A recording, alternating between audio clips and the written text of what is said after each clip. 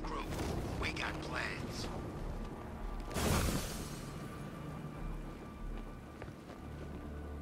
What? We hurry all the way here and Crane's killed her already? He's got no sense of occasion.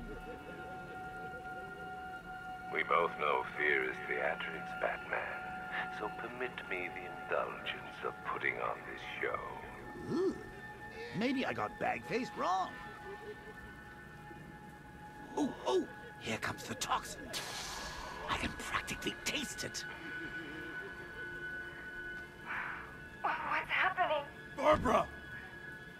Yes, you see it now. The horror behind the glass. The monster that will be your end. Unless you pick up that gun and deny him. Don't listen!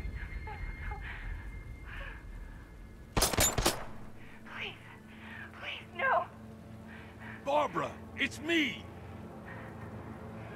Your friend. You won't get me.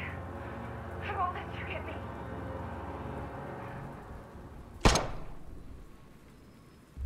You will bring death to all who follow you. Sir, what's happened?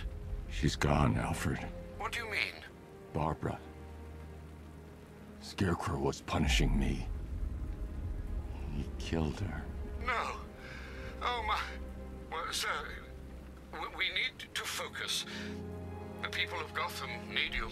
I should have protected her, Alfred. She's dead because of me. Sir, please listen. Stagg's files have revealed what the Cloudburst does. It's a dispersal device. Sir, don't you see? Scarecrow has the means to engulf the entire city in fear toxin. You stopped him from making it operational, but it's only a matter of time. Sir, did you hear me? He heard you. He's wondering how he can live with himself. Master Bruce, don't let Miss Gordon's death... Don't let it be for nothing. Oh, you can't bring her back. Let Uncle Jay take charge. No more bad memories, no more pain, no more fear. Scout on her. Ivy. Oh, no. Sir? Alfred, run a satellite scan of the city. Let me know the instant you locate the cloudburst. Of course, sir. Where are you going? GCPD. Ivy was immune to Scarecrow's toxin. You think she will help? She doesn't have a choice.